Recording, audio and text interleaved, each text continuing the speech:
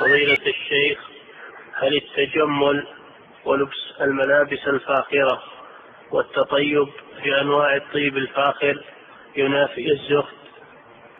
توسط الإنسان. الإنسان يتوسط.